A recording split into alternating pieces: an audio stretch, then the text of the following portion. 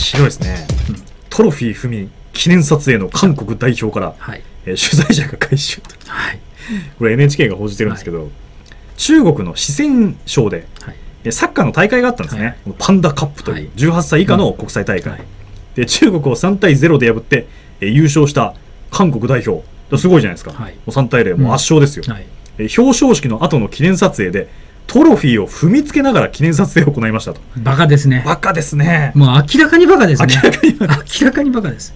でもやりますよねこういうこと。でも韓国ってやるよね。日本とあの、うんさあのーワールドベースボールクラシックの時に日本に勝った時にマウンドに旗立ってた埋める埋めてましたからねあれ。そう。あれとかもそうだし、うん。あの竹島とかね、やあのやったりとか、うん。もう本当品がないよね。本当品がない。はい今回のケースでは中国メディアが取り上げて、うん。まあ、SNS でかなり盛り上がったと、はい。何やっとんねん韓国みたいな。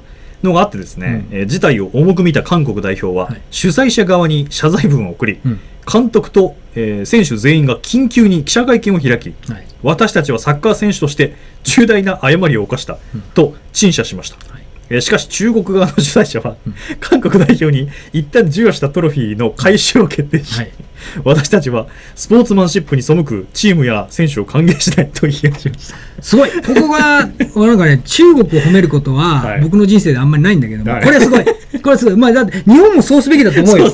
日本も絶対そうすべきだと思う。もうこれはさすがですね。さすが主権国家。いや主権国家のやることですー、よ、うん。はい。い、や日本も本来はこれぐらいやるべきなんですそうやるべきやるべき。ざ、うん。だって明らかにおかしいことやるんだから、うん。だからその、えー相手をね、うん。刺激しないとか言ってないで、うん。あの悪いことは悪いって毅然とした態度が、うん。ちゃんとした関係を はい、さすが宗主国。さすが総総主国やっぱ扱い方分かってますよね。扱い方分かって徹底的に批判してもう全て取り上げるっていう。その通り。はい。いやこれですよ。はい。これですよ。はいこれこそ日本がはい。進むべき道というか。そそそそでちゃんと謝ってるからね、うん。塩らしく謝ってるわけですから 記者会そうそう記者会見動画とか撮ってそうそうそうそう。やってましたから。そうそうそう。これこそね韓国に対するそ日本の態度もこうしていくべきだとはい。思うんですけどもはい。なんとですねうん。日韓防衛省が非公式会談うん。レーダー照射はい。再発防止求めると。はい。これ FNN がはい。伝えていまして、うん。まあ、えー非公式に40分ほど、うん。えー防衛大臣が、はいえー会談をしたと、はい。えー岩谷防衛省は韓国によるレーダー照射の再発防止を求めた。でチョン・ギョンドゥ、はい。えー国防省は韓国の従来の立場を主張したという。はい。会談に応じた理由について岩谷防衛省は、うん。真実は一つだが話し合えば答えが出る状況ではないと判断した、うん未来志向の関係を作るために一歩前に踏み出したいと記者団に説明した。そうですね。非公式とはいえ両国の防衛大臣が会談するのはレーダー照射問題後初めてだと。はい。いうことですよ。出た。この、まあ、先ほど言ったね。はい。相手を刺激しちゃいけないっていうのを言っちゃいけないっていうか、うん。俺は大嫌いだけど、はい。もう一個この未来志向の関係、はい。だから一回相手が悪いことしたのに、うん。棚上げしちゃうっていう、うん。この日本側のねそうなんですよね。自分たちの国益を損ねてもいいから、うん。あ韓国の認める、うん。中国のことを認めるっていうこの未来志向。もう腐った言葉だね。いや本当に、うん、ほんと聞きたくないね、うん。本当に、まあ、さっきのうん。サッカーの事例もそうですけど、はい。もう徹底的にやるべきなんですよ、うん。お前らおかしいぞと、そうそうそうそうそう。その通りその通り。はい。まあ、一説によると、まあやっぱあの当時の韓国海軍の、はいまあ、船舶がはいちょっとやばいことをやってたんじゃないかとそうですね。はいはいはい。そうですね。そういう噂がじゃないかとかいろいろね、あるんだけども、あとその、えっ、と、北朝鮮から亡命してたやつを捕まえ、うんパシリになってね、捕まえたんじゃないかとか、いろんな話もあるんだけど、本当にひどいね。うんあの、それを追求しろよと。いやところが岩屋さんじゃちょっと難しいなと確かにね。だいぶ国民の間にもはいうん広まってきたんじゃないですか、そうですね。まあ、うんまあ、これ、ね、安倍さんのせいでもあるんじゃないかと気もせんでもないというかね。うん。あの、だって、任命してるわけだし、うん。で、マスコミがね、僕腹立つのは、うん。桜田五輪担当層元のはい。がちょっとなんかして発言失敗しても、うん。記事にバンバンするわけじゃない、はい。岩屋のこれって国益損ねてるっていう記事がうん。いっぱい出なきゃおかしいと思うよね、うん。3件ぐらいしか出ないわけでしょ、うん本当そのメディアがメディアの仕事してないよね。いやむしろ好意的に捉えてると思いますそうそうそうバカだよね。やったー韓国と会談できたそう。オンザボードの放送は全部批判 ずっと批判してるけど岩屋はね。漏れずに。漏れずにはい。してるけど本当日本のメディア最悪だよね、うん。本当に。こういう点を指摘。読む価値ないよね、うん、本当に。指摘しないですからね、はい。本来は糾弾されて叱るべきうん。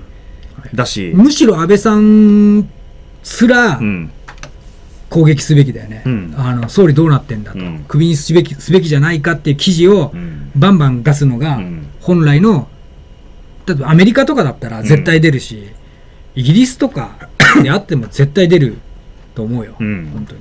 ところがっていうことですね、そうです。い、やだから中国並みの対応を求められますよ、はいうん。日本も。そう。はい。さあ次行きましょう。はい、これもまた韓国関連なんですけど、はい。まあ、おなじみのウーマンラッシュアワー、はい。村本さんがですねうん。ツイッターにこんなことを書いたと、はい日本人の韓国はクソだという思い込み。韓国の日本はクソだというのも思い込み。だというふうに思い込もう。互いに同時に銃を下ろそうぜ。互いの国に日本人韓国人が住んでんだから。というのが俺の思い込みだとしても思い込む。まあこのようにですね。はい。ちょっとよくわからないんですけど、よくわかんないね。はい。まあ、思い込みっていうのを言いたいんでしょうね、うん。そうですね。はい。でもそれが思い込みですよね。そう。思い込みをうん思い込みって言ってるのは思い込みというかはい。ちょっと伝わらないかもしれないですけど。いや日本人はうん。本当にその、いろんな問題を未来志向にして、うん。棚上げしてあげたら、うん。韓国人はすこう分かってくれるって思い込みが多かっただけですよ。そうですね。そう。これは日本人の中国に対する思い込みもそうですよね。そう同じ経済が発展していったらそう。あそこは民主化するだろうっていう幻想妄想そうそうそうそう。こういうものを抱いてましたけど全くそうではない。そう。今はその貧乏だったから、うん。あ昔は貧乏だったから盗みをしてても、うん。まあいいねとパクリとかいろいろやって、うん。著作権侵害とかねいろいろやったけどまあいつかやめるだろうと思ったら、ずーっと続けてて今うん。ファーウェイで全部やってるっていうね、だからそのなんかさあの今ファーウェイってあのえっとその何他の会社に比べて例えばこれがね、うん。あの他の会社のうん。その、例えばシスコとかの、えーっとまあえーっと設備投資とか、うん。研究開発費がこれだとしたら、ファーウェイこの上行ってんだよね。うん。ってことはファーウェイってハッキングもしてるからうん。ここに上がっちゃうんだよね。そうなんですよね。そうそう。だから盗んでるから、うん。ただでさえファーウェイの開発費が上なのに、うん。シスコのやつとか盗んでるわけだからもうファーウェイにかなわないっていう。構図。だから盗むところにはかなわないんだようね。ん。うん、だから日本のメーカーからも盗まれてるし、うん。全部から盗んでるわけだから、うん、だから潰さなきゃいけないってことでアメリカは潰してるわけでしょ、それがそういうのを もう大概分かれやって、うん、いやわかんないんですよ。もう日本のおじさんたち IT 弱すぎですから。ああこうだね、うん。もう情報が盗まれるとか。そう。いやでも情報が盗まれるなんて、うんあの IT かじってなくても分かりそうそうなもんですよね。そうそうそうそうその通りその通りその通り。本当その通り。うん。だから日本ってねやっぱあの、えーサムスンにもねうん。あの情報を上げたりしたし、うん。まあ、いろいろな技術を上げてきて上げてったら最後向こうからなんかうん。来ると思ってるっていうのは大間違いで何も来なかったじゃん、はい。結局来なかったんだよね、うん、本当に。何も永遠に来ないですよ、永遠に来ない。そんなものそう製鉄なんかもそうだし自動車のね、うん。技術なんかも全部教えてあげて、うん。全然来ない。戻ってこない。感謝もしない。うん、ODA も上げたし経済援助してあげたけどそれも全然感謝もされない、うん、むしろ下げ積まれてる。そう。だから韓国に対する対応策としては、うん。これはもう中国が示してますけど、うん。力による服従しかないんですよね。そうそうそうそうそう平等にとか、はい。そういうことよりも、うん。韓国お前これやったら分かってんだろうなっていうのをしっかり示す方が日韓関係っていうのはうまくいいくでしょうし、はい。それをやってこなかった歴代の日本政府の対応ってのもまあ、実に甘いし糾弾されるべきだろうなと、いや本当。いや本当にねアマちゃんだよね、かんまあ、公務員的というかね、うん。もう何も、お人よしな。自分の金でやってないからっていうのが多いよね、企業もやっぱその、ね、戦前の人じゃない人が経営者になってからはうん。全部盗まれ放題だよね、そうですね。守りに入ってるし。そうそうそうそう。うん。守りに入ってて盗まれるって最悪ですよね。そう。そうなるともう技術的な急激な革新ってなくなっちゃうから、いないないない。そんな中で盗まれてしまうと、はい。もう終わりですよ。そうですね、うん。ウリウリさんも面白いんですけど、はい。ちょっと えー中国はサッカー強国である売りたちに劣等感を抱いてる身だまあ、またこの、あの、なりきりで、